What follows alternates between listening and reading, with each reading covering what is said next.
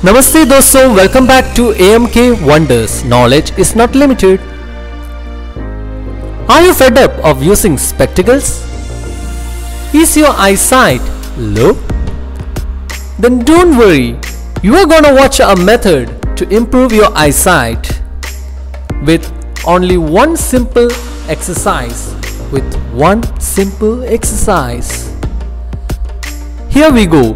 Take any one of your fingers, keeping it far away from you. Now look at the tip of the finger and slowly bring it near to your nose.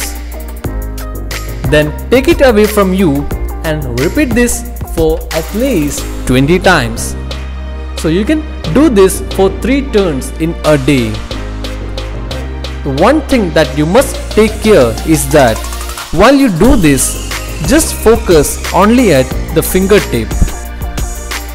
So this is a simple exercise in which you have to bring your finger near to your nose and take it away from you and just focus at the fingertip.